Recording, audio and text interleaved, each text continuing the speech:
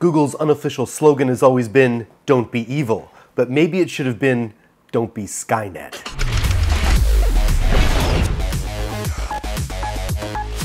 Science aficionados will be familiar with Isaac Asimov's three laws of robotics. 1.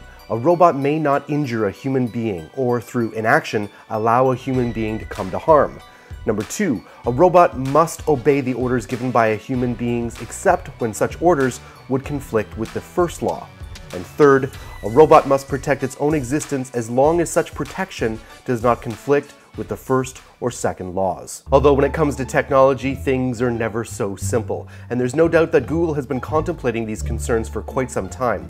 The search giant recently published a paper outlining some practical approaches to solving what may turn out to be one of the most important problems society will face in the coming decades. In their paper titled Concrete Problems in AI Safety, Google is careful to give relatively harmless negative repercussions as examples. A robot attempting to mop an electric outlet, a cleaning AI deciding to cover up messes rather than take care of them, etc. But a failure to solve the control problem actually presents much higher risks, such as an existential catastrophe. Google has identified five subparts of this problem. The big one is avoiding negative side effects, which is essentially making sure that the AI doesn't knock over a vase, or worse, kill a human being. Other problems include avoiding reward hacking, which would prevent an AI from working around its intended task to achieve an easier method of producing the desired result, though they differ from the instructor's intent. Next up is scalable oversight, and this addresses how to appropriately monitor an AI without the output of data becoming overwhelming.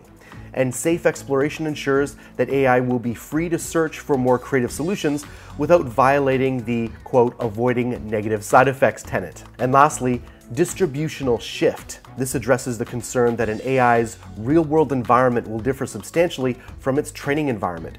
Like a college graduate, it will be important for an AI to enter the real world and get a job done and not end up in their mother's basement arguing with strangers on the internet.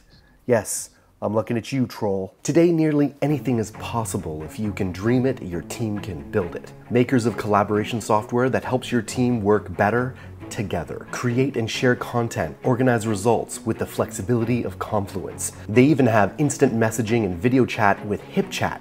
You can also manage code in real time with the power of Bitbucket. Visit Atlassian.com and see how Jira, Confluence, HipChat, and Bitbucket can give your team everything they need to succeed. So what are your thoughts and fears about Google AI or just AI in general?